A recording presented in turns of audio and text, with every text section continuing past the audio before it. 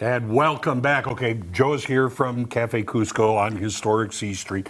Now, you're going to be making a like a standard, you know, Oh, yeah. o- over at Cafe. But I I want you to take a look at this. This is the finished dish, plated up here. What's it The called again? mussels, Uh, mussels a la macho.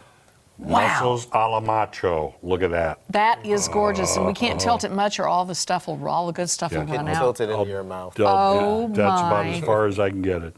Goodness. Mm-hmm. So you put the pico over the top, you put the fresh cilantro over the top. Yeah. Oh yeah. my Grab goodness. a spoon, dig in, and pour all your rice in at the end and just eat up all Can I that just juice. grab one of the mussels, open it Yeah. up, and Oh, yeah, yeah. Absolutely. could, yeah, sure. yeah. I, mean, I have to be honest. I've never had yeah, a mussel yeah, before. just pull that one there. It's a nice big one. Okay. is. You just slide the. Oh, and actually, my in Peru, what gosh. you'll do is you'll you'll loosen that up Uh-huh. and then take it like a spoon and dip it into the broth. that as a spoon. And use it to Oh, eat. Okay. yeah, I'll get do that. everything I'm going else. to do that. Okay, while Okay. he's doing and that, I while want you're you to doing start that, on I'm the gonna pisco I'm gonna shake sour. this real quick. Hold on, let me Okay. pour a little bit of this. out. So this is a traditional drink, right, in Peru? Mm-hmm. Yeah. What is pisco? Isn't it like a brandy? Pisco is. It's it's considered a white brandy. Okay. And uh, I got to shake it up real quick here because um, there's actually egg white in here. Yes. And so it's kind of like a traditional sour. And uh, so the egg white, you, you um, pull the egg white out and then uh, shake it with your lime juice. And then uh, I like to use a little agave nectar. Traditionally, it's just um, sh- uh, sugar water. Right. Right. Yeah. Sweeten it up. Yep, and then uh, your pisco. And uh, so there's lots of different piscos, uh, um, but we're using uh, kind of a, a kind of like tequila. We're using one that is uh, clear, like Okay, a white, you know, right. puro. And uh, so anyway, so you shake it up. It's real simple. It's it's just your uh, a little bit of water, your sweetener, your pisco, your lime juice, um, and then uh, your egg white. And then you kind of shake it over ice, get it nice and cold and frothy. And I'll pour one in here.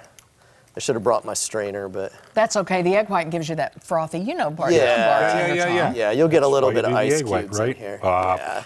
Look at that. It's a little like a margarita kind of. It is. Of. In fact, actually, so uh, it was actually created by an American in Peru. Okay. Really? Uh, in Oh, I Lima. didn't Yep. that either. And uh, he uh, um, had the pisco, and somebody wanted a drink that was more like a, a margarita. Okay. And so that's what he came up with, and it's now actually become their national drink. Oh, and what are you adding? Uh, Yeah. Okay. So traditionally, you would put like a little bitters on top, or you might put a little bit of cinnamon on Mm-hmm. top. So I have some cinnamon here. Okay. But uh, Rachel, who was on earlier, Yes. um, uh, we're actually like super close friends, and we both have property together up on the Niangua River. So Oh. we spend a lot of time together.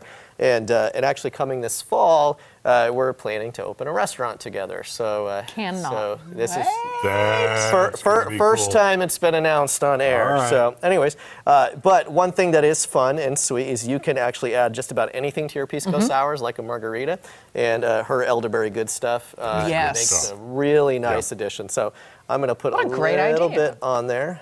Now, is this restaurant, is it going to be up at the Niangua that you're No, talking about? it's actually going to be on Commercial Street. Oh, another one on C Street. It will be, yeah. We're going Great. to add to our repertoire there, and uh, and it will be featuring a lot of farm to table and Mm-hmm. uh, wild infused um, food. So a lot of the, the foraging and Gotta wild edible fun. stuff that she Rachel's going to be well. busy foraging, foraging, for more, much is. more to come on she that. already is, Mm-hmm. yeah. All right, so, I'm, we get to try, right? Yep, yeah, go Okay, ahead I, and- I l- adore these. Thank I'm going to put a little bit of the elderberry Please in do, there, because too. you know Yeah. it'll do me good. Elderberry's Oh, yeah. nice and healthy. Yeah, yeah, everything's healthy when you add alcohol. Oh my goodness, it's and it's lovely. And anyway, try out Cafe Cusco if you haven't already. It is absolutely fantastic. Is this on your is this on your menu all year? All year, all year. Yeah, Okay. it's it's super popular in the summertime. Mm. You'll find me on the patio eating it all the time. But uh, you, you sell a ton of these, don't you? uh, um, yeah, it's Yeah. amazing how much pisco sour. I can see yeah, why. Yeah, that is we great. sell a lot. It's- This yep. is tremendous. It is.